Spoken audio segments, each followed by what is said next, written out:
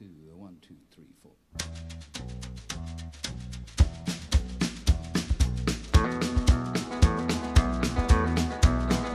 On the road again. Just can't wait to get on the road again. Hello, everybody, and welcome back to the channel. We're sure glad to see you today, and we're glad you're here because we've been looking for a couple of years for this Craftsman wrench. We finally found it, and we're going to get a chance to do a great restoration on it today. So let's get down to the shop and get started. Here's a tool I've acquired recently. I don't see many of these around. This is a Craftsman pipe wrench.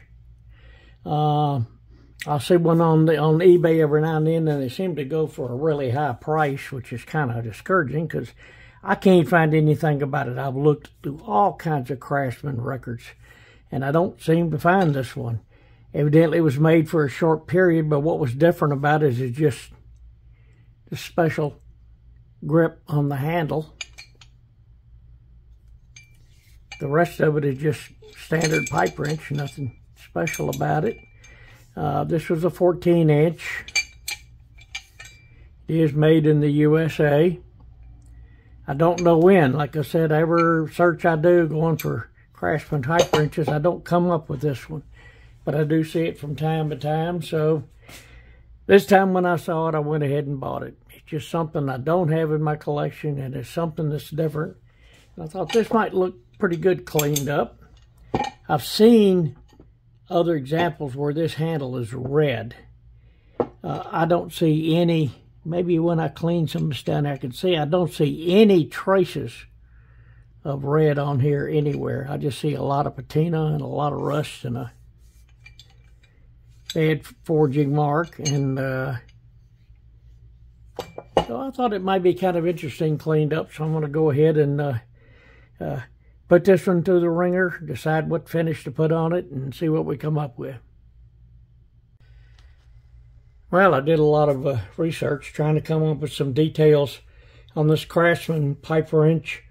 I was trying to determine the original color, which I couldn't really determine. The only thing that looks reddish might be rust, or it might have been remnants of a color. I guess maybe I'll discover a little bit more when I start cleaning this. But here's what I did find. I found this wrench. Uh, while some people listed it as 1945, this is actually was in there 19. I mean, listed as 1950. I looked in the 1940 line catalog, didn't see it. Finally found it in the 1945. It's called a Craftsman Stream, Streamline Design Pipe Wrench and it's in the middle here. The, what the features of it are are offset jaws, which makes it easier to work in close quarters. And it also said the jaw screw is recessed, so it helps prevent thread damage. They were comparing it to this type of wrench, which is the popular design, the Ridgid design, which everybody copied, Sears included. Um, so that was the features of it. Only, it was made in a 14 inch size. It was a one piece malleable iron frame and handle, replaceable tempered forged steel jaws, and uh, takes pipe to one and a half inches. And it only it said only made in 14 inch, and the price in 1945 was three dollars and fifty cents. So I was able to track it down. Uh, it's nice to get some history on what you're working on, and uh, evidently the patent was applied for on this. I didn't see a patent. And, uh, but we'll continue on with the cleanup, and that's what we're working on. Okay, I'm at a stopping point, need to take a break. I'm not finished yet, but I want to show you where, where we are. Uh, first of all, I wire brushed everything with the uh, cup wheel on, on the grinder, on the handheld grinder, and which really works well. Take it outside to do that so I don't gunk up my shop with all those spraying all that rust and crap all over the place. And I've done some little war fine work in here with the Dremel with a little wire brush on here. and uh, which I have to do to get down in all these parts. But you can see the condition of it now. You can see the terrible forging marks all around here. wasn't finished very well. Same thing over here. That really was uh, done poorly. So we're going to get those forging marks out, but in the meantime, we got to get it good and clean. Get all of the crud out of here. As you can see, this little area down in here I did with the wire brush and the Dremel. Guess we'll have to do it again. It seems to be difficult to get off. All these little areas need to be cleaned. And I still haven't found what color this wrench might need to be. Going to do some more research on that before I finish it to try to do it as natural as possible. But it's super little wrench. Looks cool with all the design on it. And uh, I think it'll be nice when it's finished. So that's where we are at the moment. More wire brushing coming up. Okay, back to the beginning. Remember how this wrench looked when we got it. Really rusted, corroded, heavy patina. And here's this Craftsman streamline wrench, completely restored, looking quite beautiful in its new shiny finish. Okay, before I get into the details of this, just to give you a little backstory here.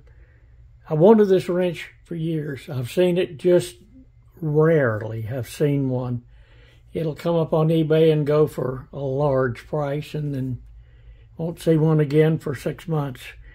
So it's not something you see very often. Can't find a lot of history on it other than what that ad I showed you. Uh, uh, just was not much to be had there. Evidently, it uh, came out in the, sometime in the mid 40s and didn't wasn't around in the 50s, so it wasn't real popular. But here's what the reasoning behind what I did to this wrench. This was sold as a premium, quite a bit more money than the other wrenches because the feature of the the jaw that would fit in a narrow profile and reach, you know, out past the body of the wrench. Uh, and the stream, so they call it the streamline because it would fit in the narrow spaces, but so they also streamlined the handle and gave it a really, really pretty shape. I like the way that turned out. So I got to looking at the wrench and I thought, well, since I can't find online anywhere how this wrench was finished, I've looked at pictures. They were in black and white. Uh, that didn't find anything in color. Uh, I looked every nook and cranny of this wrench, and if it had been painted at one time, there would be paint remnants and there were absolutely none. So I'm assuming it was just a plain finish.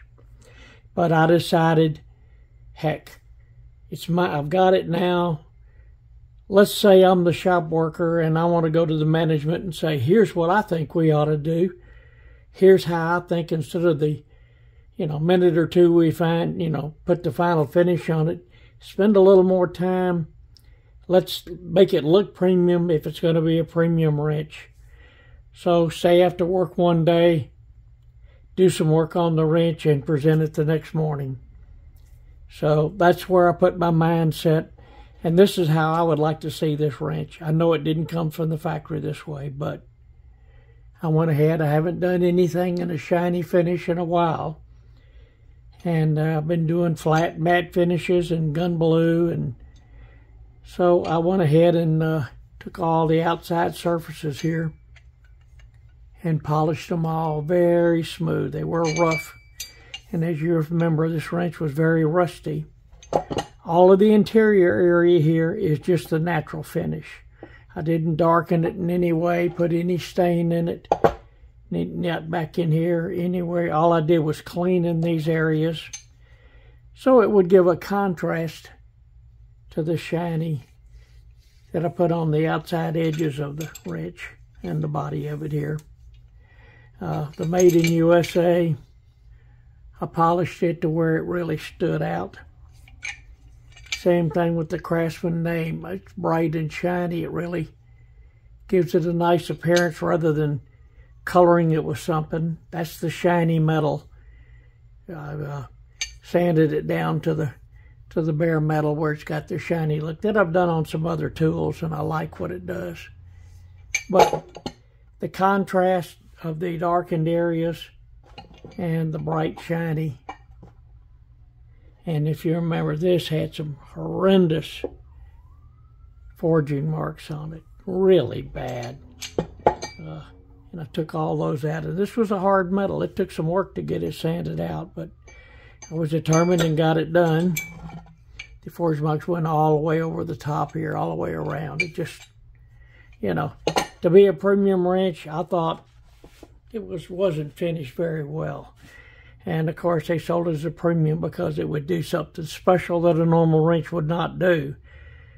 But they gave it a good look. They they got the premise right. They, that handle they put on here is just, it's beautiful and it feels good in hand too. It's just nice the way they did that. So to me, I don't know. It was the appearance of this wrench that attracted me, not the function.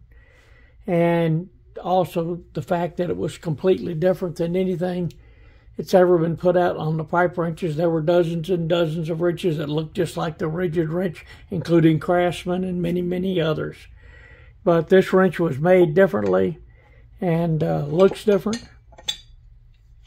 So I'm happy with it. I'm happy with the the shiny finish. Some uh, purists out there probably won't like that, but the fact is, nobody knows what this look was finished exactly uh, how it was done initially. And it isn't anything collectible, I don't think, except it is rare. It wasn't made for very long, and maybe not that many are sold, so you don't see many of them around. I say I spot one every few months, and that's it. So here's my idea what the crash, you know, I thought the Craftsman wrench should look like, and if I worked in the Craftsman factory then, this is what I would want to do. This is how I would like to finish a wrench. And I think that management could get a nice premium even in, uh, above what they uh, sold it for if it looked like this, because the looks do sell. What sells automobiles? majority of what people buy automobiles for is the appearance. What does that look like? That looks really sharp. I'd like to have one of those. Same thing with the wrench. If you saw this sitting beside a standard pipe wrench, you might want to own this one just because it's it's sharp. So that's my thoughts. Thank you for watching my video. I hope you enjoyed it.